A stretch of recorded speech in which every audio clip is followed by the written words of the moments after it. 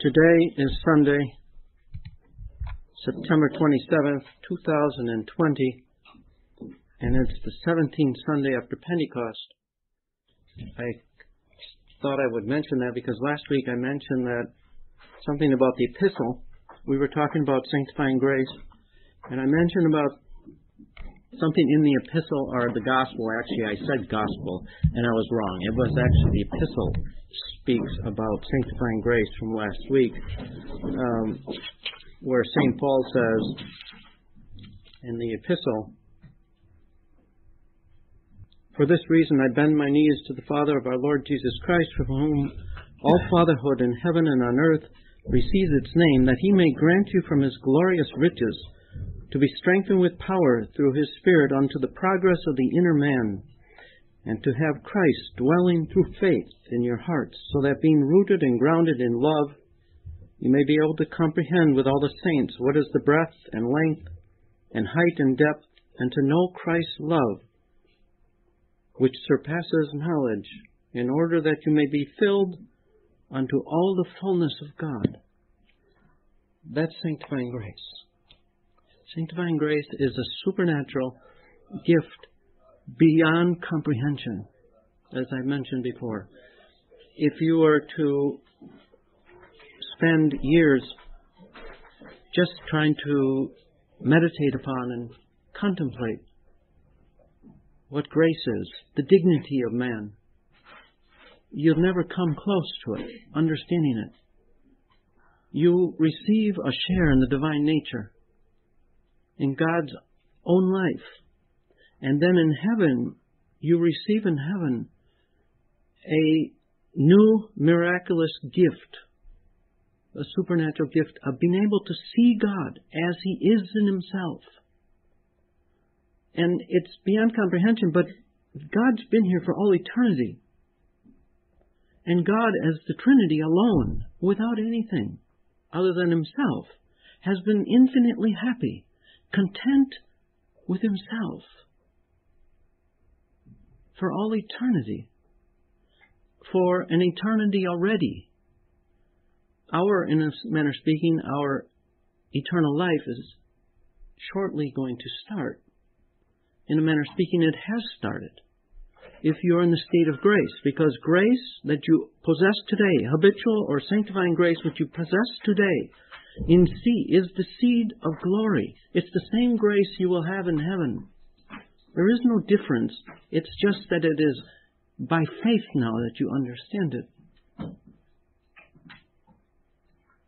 Now, there is another thing which I would like to read, but I don't know that I will read the whole thing. A beautiful little book called God Within Us by Plus.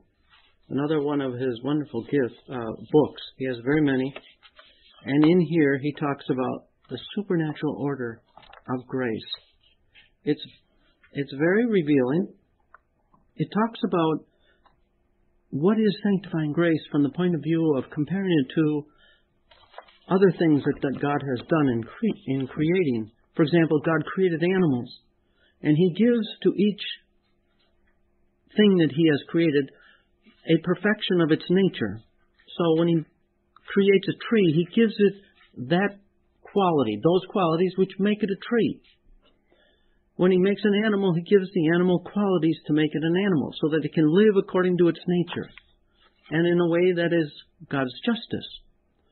When he makes a man, he creates a man with those things, those gifts, those powers, which make him a human being, according to his nature. And that's all that God is bound to do, in a manner of speaking. But it says in here, Revelation tells us that God, having created man, was, as if not satisfied by the result of his task, moved by a second loving impulse to add something to the wonderful gifts which constitute man's nature. Man has a body and a soul. It is enough. It constitutes the perfect nature of man. But all of God is not found there in this his creature. God has fulfilled his design, but he has not exhausted his love. There's a beautiful way this man puts it. He has not given enough to himself to satisfy himself. He wishes to give something more. Man shall be not only man. He shall be body and soul, yes, and something far greater besides. And God decides that man should be a participator in his own divine life. Man will still be man, but even on earth, he will be called upon to share the life of God in order that later he may be able to do more, so more completely and for all eternity in heaven. His participation will still be partial, but direct, and the mystery will lie not so much in the fact that man should be called upon to perform a divine action, as in this other fact that he should be called upon to perform an action essentially divine. To see God face to face, and should nevertheless remain, in spite of it, a man. You save and preserve your divine, your human nature, but you participate in the divine nature. And you do today, if you're in the state of grace. That state of grace is to last for eternity. It's the seed of your glory in heaven. It is that seed which will be able to see God face to face. An incomparable mystery. You cannot understand it. The mystery of being able to see God as He is. And then he says, which was part of my point last week, to compare and contrast the dignity that God has given to man in the, in the gift of grace, if man will accept it and will live by those things which will not only bring him sanctifying grace, but retain it.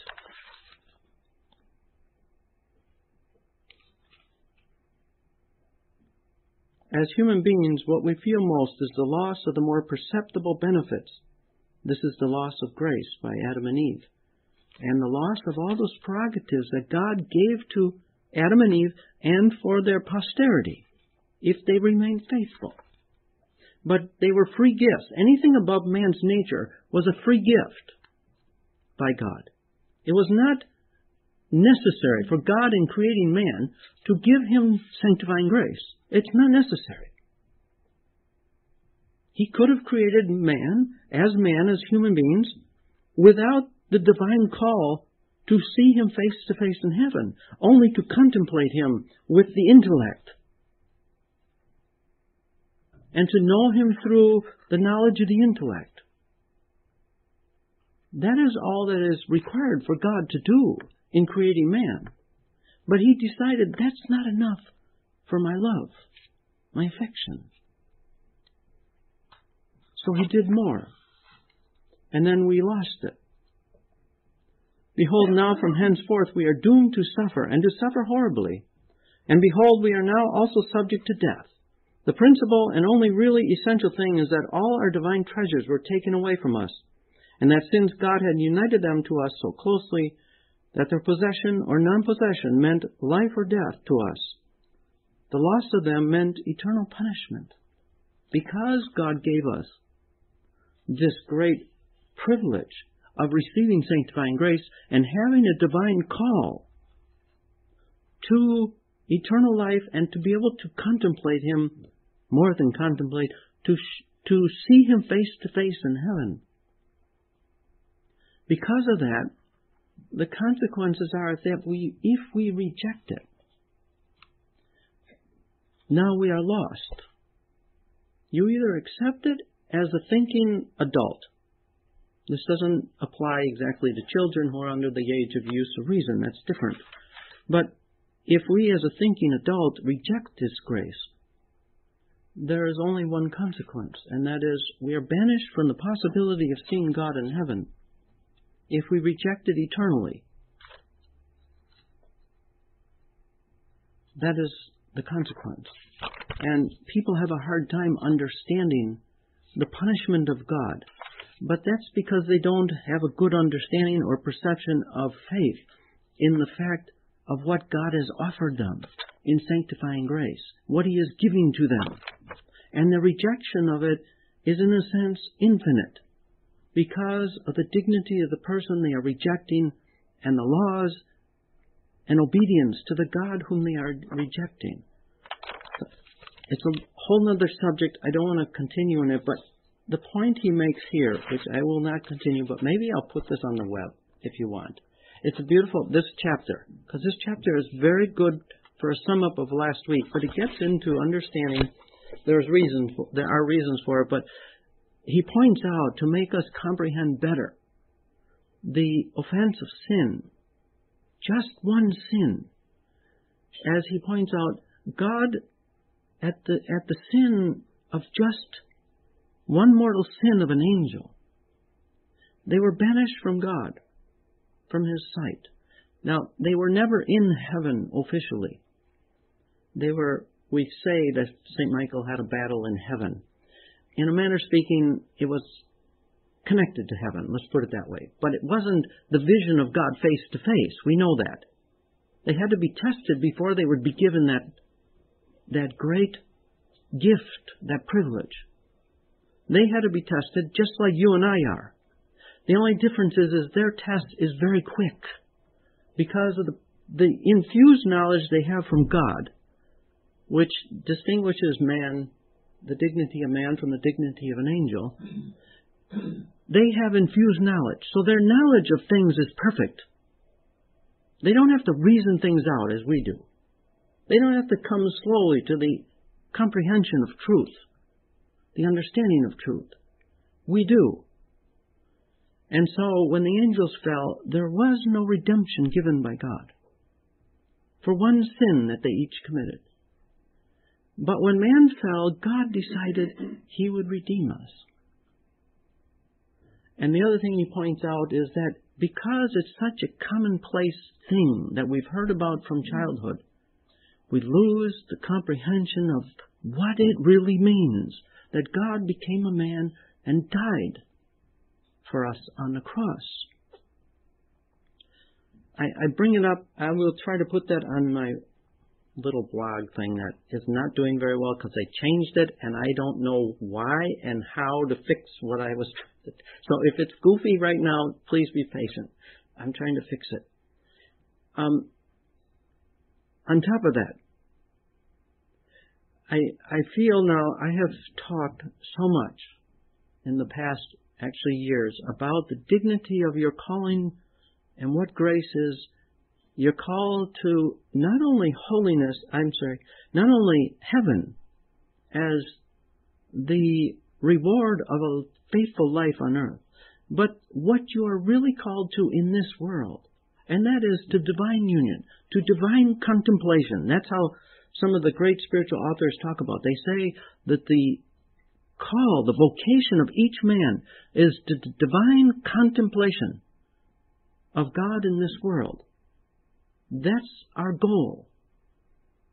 And I've talked about it, about what it is and the beauty of it, in order that we, you and I both, might have a desire to do those things which are necessary to get there, to reach the goal.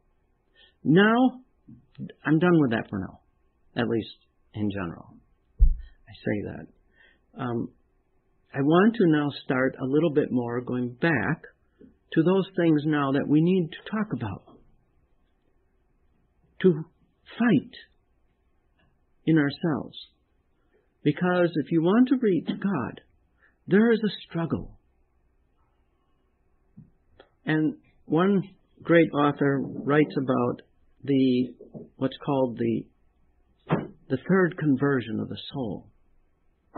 The soul needs to go through three conversions to reach divine union, for example. The highest the higher levels of holiness. Very few people understand any of this. I even wonder in the few what they call contemplative communities today. I was going to ask somebody about that that was in one. In the these contemplative communities, are they teaching the young people what their vocation is as a contemplative? What is it? How to reach it? How to struggle? How to fight? How to dig? He, he says something about, this one author says about this third conversion, that God digs so deep and the soul I can't remember right now, I'm sorry, the exact word he uses, but the, the, the crucible of suffering is tremendous, is the way he puts it. The crucible of suffering that God makes the soul go through in order to reach the high levels of divine union. The, the sufferings of er, the early part of the purgative life, for example, which is where we're going to start, that which is called the purgative life, which begins after some type of a reformation, he calls it, or a first conversion. The purgative life. And obviously, the word kind of gives you an idea. You got to purge. You might, you got to change, most likely, unless you've done it over the years already. You need to potentially. I know I do. Many things. Need to purge all the dregs of sin, evil passions that dwell in our soul, which I want to talk about. The St. Thomas goes into I think there are 11 different passions that we have the irascible and the concupiscible passions that we have inside of us, and how we need to fight them. People ask, What am I supposed to do? There's a lot to do, and I'm going to try to explain it. There's an awful lot to do. But it's through prayer, through meditation, mortification, and reading. You need to have good books. And you need to read books kind of in the right order. If you put the books out of order, you're most likely going to get lost. Believe me. You need to have some order to your reading. And some books are higher and they talk about higher things, but they're not necessarily for us at this point in time. So we got to be careful with what we read when we read it. But to read, you should do. Some serious and good older books. So we want to get into understanding. I also want to talk about what's called our predominant fault. Very important. The predominant fault that we all have. It stems from and is related to our temperaments. And I have more than a class all prepared for that, but I can't get into it today. I realize I give up. I can't. I will be going too fast. I need to go back a little bit yet. And I want to start continuing where I left off last week about sin. And I will explain about sin because it's a, you need the foundation of sin. You need to understand what sin is. For example, somebody asked me a while ago on a little card, they asked me, could you talk about sins uh, related to the third commandment? Thou shalt keep holy Lord's day a, a commandment that is violated by most everybody. I'm not saying you, but people I know in the world, Catholics, non Catholics, they ignore it. They don't consider it at all. But in the Old Testament, it was very important because God said, He who violates this law, let him be put to death. That's how stringent.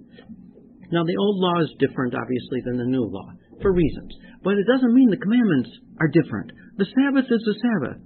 It has been changed by the church, by the power the church has had, from Saturday to Sunday because of our Lord's resurrection, because of Pentecost. So, keep holy the Lord's day, which means thou shalt not do things that are not permitted on the Sabbath. What do those things entail? Does everybody understand? I hope you do. But I have found out that most people don't have a good understanding. For example, one person told me not too long ago, a couple of years ago actually, um, and I didn't say anything because they weren't asking anything, and I maybe I was wrong, and maybe I should still tell them the truth. But they said, "Well, you know what? I can go home and garden in my garden today, even though it's Sunday, because it's fun."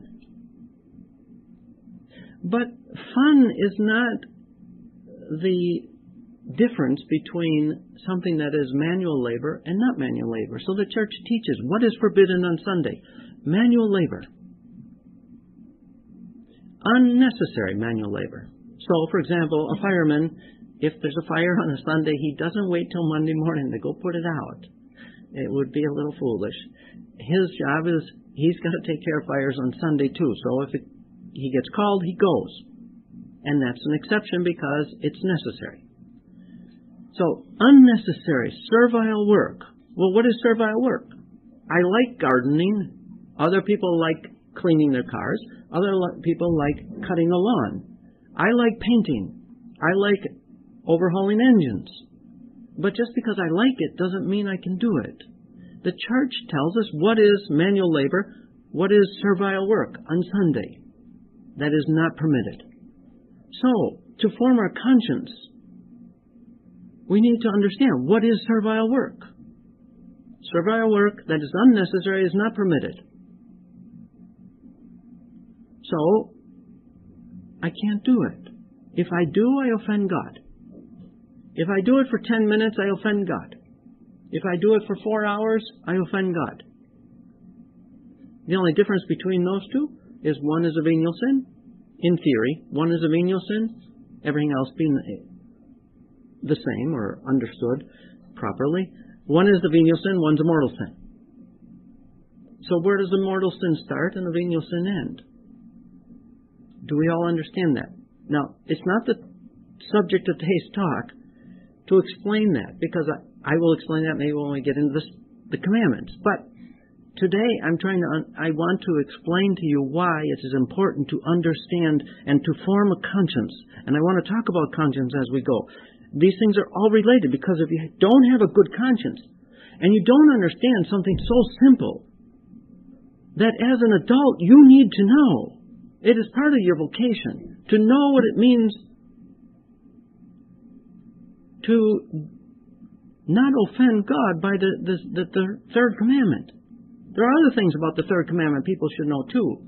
People watch four football games on a Sunday. It's not it's not right. That's violating God's law. Because the day is supposed to be holy to some degree. And four football games kind of takes up most of the day, most of the mind of what the mind is supposed to be thinking about on Sunday. The beauty of grace, the beauty of the sacrament you received in the morning, potentially. So the point is, is that to, to live in God's grace and to not offend Him, we need to do, we need to avoid those things that we know, for example, that are wrong. Is that not correct? It is. Everyone knows that. But many people, I would say most people today, are ignorant of what is right and wrong. So if people get married, for example, just as an example, and they live completely contrary to, to right morals in their married life. They're responsible. I'm sorry to say it that way, but they're responsible for sins committed, even though they don't know. Why? Because you're taking on yourself a vocation, a duty, an obligation, a right. All these things are related to a vocation of marriage. Similar with a priest. If a priest takes on himself the vocation of becoming a priest, and he allows the bishop to lay his hands on him to make him a consecrated priest. He has the duty to know the, what it means to be a priest and how to live that life properly. And if he fails to do that, he sins. Oh, well, he was ignorant of the fact that this little thing he should have been teaching people in confession. So he's teaching people wrong in confession. Well, he was ignorant of that. It's no excuse. Why? Because he took a vocation upon himself that, he, that demands by God that he know the truth. It's a parent allowing their children to receive sacraments when they haven't a clue what they're doing. If they have no clue what they're doing in receiving the sacrament, it's not right. Same with the sacrament of marriage. So, what I'm trying to point out is knowledge is very necessary because this is the distinction now between vincible and invincible ignorance. And for vincible ignorance, we are responsible for those things that we do with this ignorance. Why? Because vincible ignorance is ignorance that I am bound and I have an obligation not to have. that I need to know the truth. And people go so far as they don't want to know the truth. And sadly enough, some people don't want others to know the truth. That is our condition today. I would like to be able to explain the truth to you on all these matters that I have prepared for today, but you don't want to be here till 2 o'clock. And I need to eat lunch sometime later, too. So, but I would like to be able to spend more time because I'm only giving you in. I'm watching the clock, but I'm still, I'm trying to give you a little bit of where we're going and why these things are very important to spur you on to the desire to continue, to fight against yourself because these things are difficult. And man is naturally inclined to laziness. We are naturally inclined to things that are pleasant and not to things that are difficult. But if you want pleasant, if you want happiness, this is the road. This is the road. So, I don't want to belabor the point if I haven't already, um, but this is this is important, and I hope you will follow a little bit of what I have today and then come back because there are, there are a lot that I've got actually prepared, but it's too much for today. I want to go back now. What I was trying to do last week, and I don't think I did a really good job of it, is try to make sure that we all understand. I don't. And nobody does well, I would say, thoroughly. Understand what sin is when I put this on the web, if you read this little thing and you think about it, pray over it, it will help you. This is this little quote from, or this chapter from Raoul Plus on God within us. Um, to help us to understand what sin is, not only mortal sin, especially mortal sin, but even venial sin, to understand what it is, to it, it's good to think about this, even though it's not real pleasant. It's good to think about why. Because then we will be more careful in the future. Naturally, you should be, even though you may already be. Um,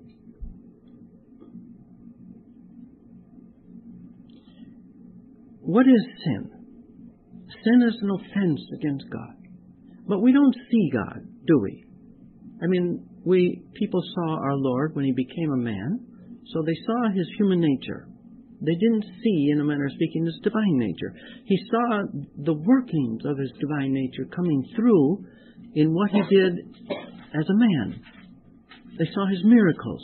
Always, our Lord always says, not like did, other people have said, in the name of our Lord Jesus Christ, is what the apostle said when, after the ascension and Pentecost, in the name of our Lord Jesus Christ, receive your sight, for example, and they would be cured. Um, but that's because he was God. But our Lord always said, which was so different, I say to thee, arise, young man, get up and walk. Receive your sight. I say to thee, receive your sight. I say to thee, be cleansed of your leprosy, which is a symbol of sin be cleansed. I say that. Why? Because he was God. He had the divine power. He didn't need to ask his Father to perform the miracle directly because he and the Father were one, as he told the people and the apostles. But now, to understand better sin, there are two analogies I want to use.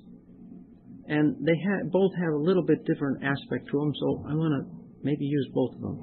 One has to do with a man, for example, who is guilty of grave offenses against the state, against the king, for example, of years ago. And the judge calls the man, and the jury accuses him of great crimes. And the jury says this man is deserving of punishment, to be cast out of society, and to work in hard labor for the rest of his life. And the man is, by the judge, is given a sentence of life of hard labor. And at the last moment, the man falls on his knees and begs the judge, Your Honor, out of the depths of my heart, I plead with you to forgive me, because I am contrite and sorrowful for what I have done. And the judge says, Okay, I will forgive you. And the man is freed. And it's a wonderful act. And understanding the way kingdoms were years ago, I can understand that there was some of this that probably took place. And then the man is brought again, three months later, he's brought again before the same judge with the same crimes. Once again. Now, what does the judge do? And there's another example, which is a very theoretical example, because I can't imagine it has happened before. But it because of that, just because of that fact, I think the example is good because it will help us to understand the gravity of sin. A man and a woman fall in love. I've used this example before. And after years of marriage, the man falls into adultery. A grave sin, a grave offense against his wife, against God, a double sin. I don't know if you know that. It's a, a double mortal sin. Do you know that in one act a person can commit many mortal sins, depending upon the, the virtues which he violates? Okay? The virtue of obedience to God and justice in his vow, against his vow. So the man's guilty, and his wife finds out. And the man, after great sincere sorrow, pleads with her to forgive him. This could take months. The man would do anything to return to the way it was before he did and committed this fault, this sin. And it makes, in a sense, if you put it in perspective, it makes a Lent of 40 days of penance, in a sense, look kind of shy or small to make up for offenses against God. If only those 40 days could make up and make, in a sense, his wife forget the offense he committed. Not so much because of how he feels, but because of what he's done to his wife, whom he truly loves. At least he thought, and he does to some degree. So, I'm not even going to say it, but let's say she forgives him, and that's great, and it has happened, this type of thing. But if it happens again, do you really think the wife is going to feel his sincerity to be sincere? It's hard for me to believe. And that's why in the this is related to early in the church, you know the error that went around early in the church. There was only once you could go to confession especially for denial of the faith. That was a potential sin back then because if they found out you were a practicer of the Catholic faith, they cut your head off. That's a punishment, and it's a scary one. Not many people want to lose their head when they're 15, 16 years old, especially. Even 60. I guess it doesn't matter. You don't want to lose your head. You want to stand up for your faith, yes. Today it's a little easier, in a manner of speaking, to do that. But back then, many people were said, you can't go to confession twice for that sin. Once is it. And the church had to come out and say, no, that is wrong. That is an error. Confession is for those who repent. But you must have true contrition. We need to talk about contrition too. What is contrition? What is sorrow? What is attrition? What is supernatural sorrow? And what is natural sorrow? What is necessary for the sacrament of penance? Not all sorrow for sin is sufficient for the sacrament of penance. We need to understand which is. And you probably do, but it's sometimes good to review it to make sure. So, this example of the adultery, it's, I, I think it's almost like it's a rhetorical question. Do I need to even say if, if the man did it again, would she ever forgive him? Maybe I. But with God, if people commit the same sin over, let's say every every three to six months a man commits the same sin.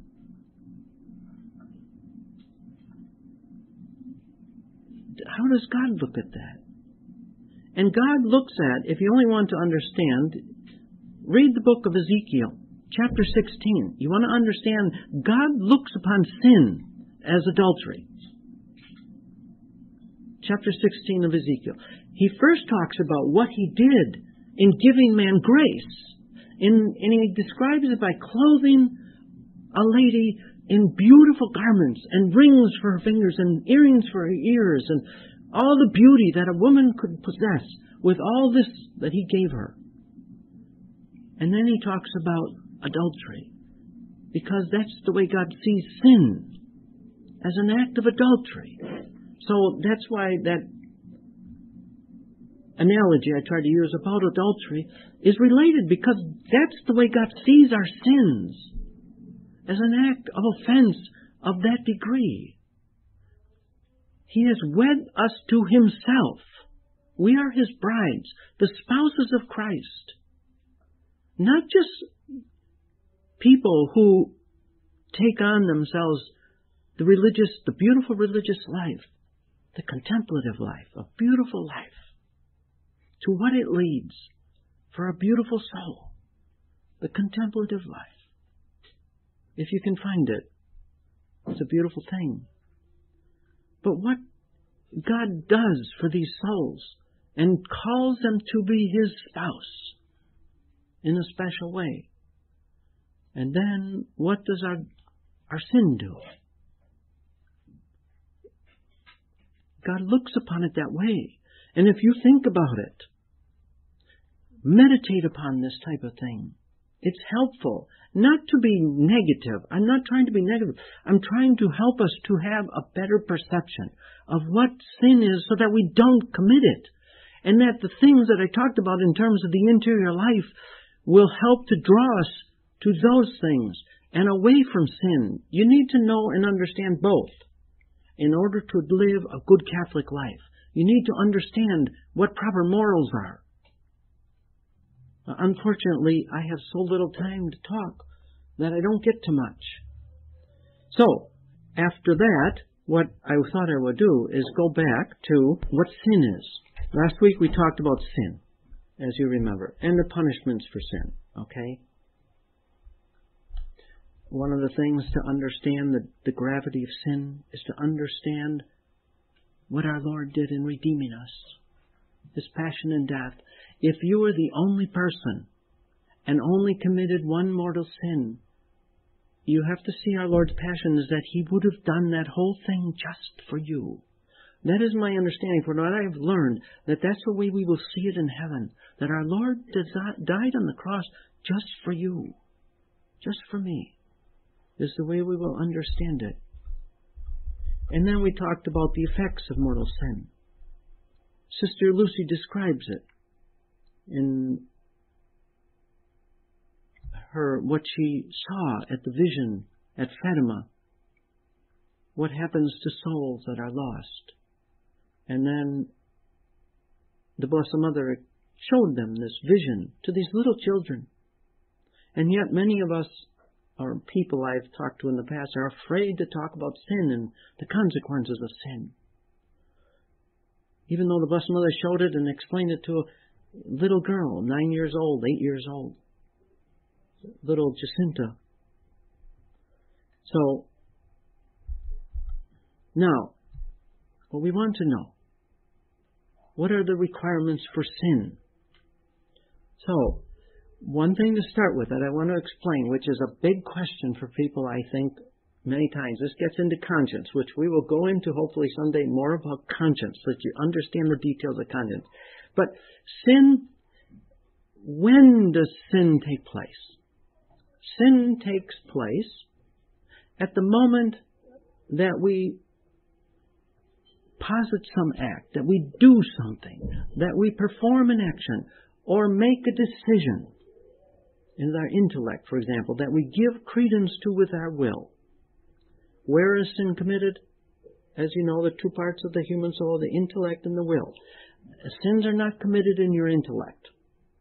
Just know that. It's very important to understand, especially for sins of impurity, for example, sins of hatred, sins of revenge. Where is the sin committed? It's not in the intellect. I sometimes have, unfortunately, thoughts of revenge because they just come naturally when somebody, if somebody pokes you with a knife, I mean, you, you, there's a natural reaction.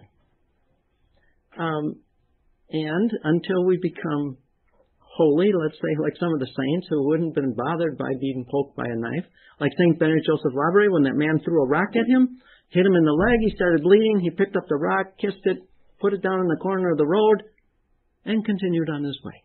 He never even looked up to see who threw it. Never even looked up.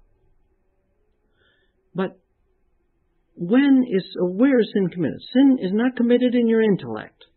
So if you have bad thoughts, no matter what they are, they're not yet sins. They're temptations potentially. And I want to just add something because it came to mind today. I thought I would posit. I'm jumping around a little bit, but it's all related. Um, because of understanding sin and their um, sins, as I mentioned before, against the virtue of purity. Um, we must, as you know, avoid the occasions of sin. And if things are an occasion of sin, we must put them out of our life. That is one requirement. You cannot live with an occasion of sin, which is a grave occasion of sin for you. You can't live with it without doing something to make it not so grave, to make it a remote, what's called a remote occasion of sin. So, uh, for a drunkard, having a bottle of wine or whatever he is attached to or likes uh, sitting in front of him can be a, a grave occasion of sin. Um, but a bar down the street is a proximate occasion of sin. As long as he doesn't go there, the bar is probably not going to encourage him to commit the sin.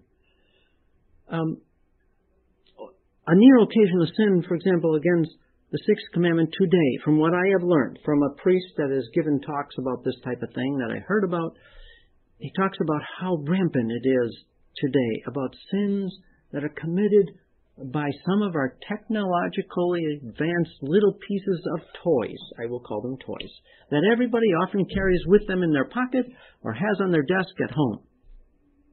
And if these things are an occasion of sin, a grave occasion of sin, they need to be put out. Why do I say this? Partly because the requirements for confession you may not know, but the requirements for confession, if a person falls into a grave sin, is that they can't retain the occasion of sin. If they retain the occasion of sin, it means what? There isn't that contrition I talked about that is required. The contrition is not there. It's not sincere. Why? Because I'm not sincere enough to say I'm going to remove the occasion. So, if, for example, my cell phone is an occasion of grave occasion of near occasion of sin for me, I need to get rid of it in some way to make it a remote occasion. That is a requirement. Otherwise, I can go to confession all day. I can go to all three priests here on one Sunday. The sin won't be confi- uh, will not be forgiven by any of them because I don't have the requirements necessary for contrition, my contrition to be acceptable to God. It's like the man that comes back the third time after adultery. You're really not sorry. Well, yes, I am. No, you're not. So, the the point is that's an occasion of sin. Where is sin committed? Not in the intellect. If an occasion of sin comes into the intellect, an impure thought, or a thought of revenge to somebody you don't like, but it that naturally sometimes people there are people you're not going to like in life. I don't like certain people. I don't like to be around them, but I still have to love them. I need to pray for them to prove my love for them. I need to pray for their salvation and wish for their salvation, their holiness. That's required. Do I have to like them and to be friends with them? No. But the occasion the sin is not in my intellect. But this is where people get confused about temptation. I have an impure thought in my mind. What do I do? I reject it with my will because my sin is committed in my will. If I take pleasure in the thought, the impure thought, for example, the thought of revenge, if I revel in it, waiting to do it, I can't wait to bonk the guy over the head. Then, if I give credence to the thought by reveling in the thought, by giving credence to it with my will, that's the moment that I give credence to it and I commit the sin. Not when the thought comes to my intellect. I can have bad thoughts all day, which can happen to people who have, especially those who have lived bad lives, or who allow themselves to be in occasions of sin more often than they should the thoughts come back. And then they place them, they, they leave those thoughts there, or they can't get rid of them because it's hard to get rid of thoughts until you are practiced in mortification, which we are going to talk about. That's all part of your road. Mortification of the mind, mortification of the imagination, mortification of the memory. These are all the things that we need to do. They're all in part of my talk for today, which would go until four o'clock if I were to finish, because there's so much but it's all important. The, the thought and people, you wouldn't believe, have a misunderstanding of this. They completely misunderstand. They think sin is in my intellect. It's not. It's in my will. So the thought is not the sin. It is the giving credence to it and reveling in it with my will. That's where I choose between good and evil. My mind only presents it to my will as a supposed good, actually evil. But it tells my will, this is wrong, but it's really pleasurable, so follow it. And the will says no. No sin is committed no longer, no matter how long that thought stays in the intellect. As long as it's rejected by the will, no sin is committed, you are meriting. And this is what God sends temptations often for, that you might merit an eternal reward for that one little act of repelling a sinful thought, which without grace you cannot do. Impossible. You cannot do it without grace. Actual grace of God. Not possible. God does all. As our Lord said, without me you can do nothing. So you are working and acting in a supernatural way when you repel evil you are doing a supernatural act, and you will receive a supernatural reward in heaven that will make your heaven so much greater than you can even ever imagine just for that one act, which only takes a moment.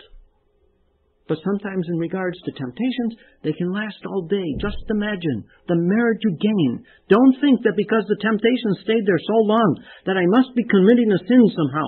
No, as long as it's rejected by the will, no sin is committed. And stay firm. Don't let the devil tweak you and, and confuse you that this thought has to do with sin and therefore you've already given in. Give up. You've already given in because you can't get rid of it. Therefore, you must want it. No, not true. I don't want it, and I refuse it. And we can talk later how to do that and then start getting into the three things that make us immortal. But I hope this is helpful as a start. We want to go down this path. For those that are interested in the interior life in a serious way, to the purpose of your life, divine contemplation, this foundation now is necessary. You will often hate it. I still hate it. This week was terrible because I started to think about things in my own life that I should have known years ago that come back to me because these sins haunt you sometimes because you never get to the bottom of them. And they keep coming back. But that is the path that glorifies God and wins you an eternal reward. Thank you for coming. I hope I see you next week. And if you have any complaints about my class, please let me know. Thank you. You're welcome.